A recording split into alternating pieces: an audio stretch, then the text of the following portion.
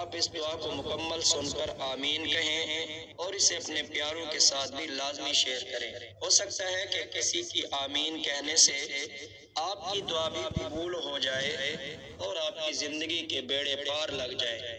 हमेशा दुआ मांगा करें, क्योंकि मुमकिन और नामुमकिन तो सिर्फ़ हमारी सोचों में है। अल्लाह के लिए तो कुछ भी नामुमकिन नहीं। अल्लाह, मुझे आने वाले बेहतरीन दिन अता फरमा। और मेरे नसीब में ऐसा लिख दे जिससे मेरा दिल खुश हो।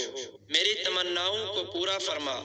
मुझे जहनी सुकून अता कर और मेरे मामला को आसान कर दे। मेरे अल्लाह, मुझे कभी भी किसी भी हालात में, मुश्किलों, परेशानियों में कभी भी अकेला मत छोड़ना। मेरे मालिक, हमेशा अपनी रहमत के साय में रखना, हमेशा अपनी मोहब्बत की निगाह रखना, हमारे गुनाहों को माफ़ करना मेरे मौला, मुझे ऐसा बना दे कि मैं आपको पसंद आ जाऊँ।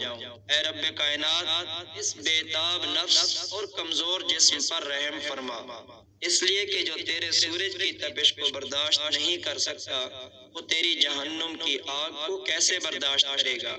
जो तेरे बादल की गरज से काँप उठता है, वो तेरे गजब की आवाज़ को कैसे सुन सकता है? जिसे तेरी रहमत तेरे गजब की आवाज़ को कैसे सुन सकता है? जिसे तेरी रहमत और प्यार की आदत है, वो तेरी नाराज़गी का सामना कैसे करेगा?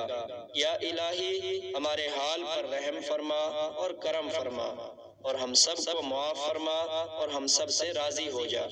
या अल्लाह, या रज्जाक या करीम। जिस तरह रात को दिन में बदल देता है, इसी तरह हमारी मुश्किलात को आसानियों में, बीमारियों को तंदुरुस्ती में, नफरतों को मोहब्बतों में, गम को खुशी में बदल दे।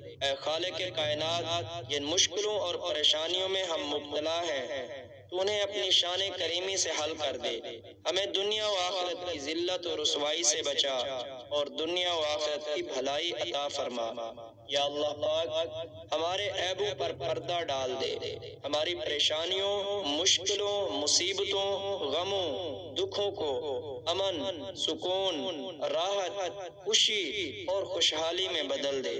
बीमारी, नागहानी आफात से हमारी हिफाजत फरमा। अल्लाह, हमें हलाल रोजी नसीब फरमा। हमारे कारोबार में अपनी रहमत से बरकत और तरक्की अता फरमा। ए अल्लाह, हमें इखलास नसीब फरमा। हमारे दिलों से हसद बोझ और कीना दूर फरमा। हमको दजाल के फितने और मौत की सख्ती से और कयामत की गर्मी और जहन्नुम की आग से दूर फरमा।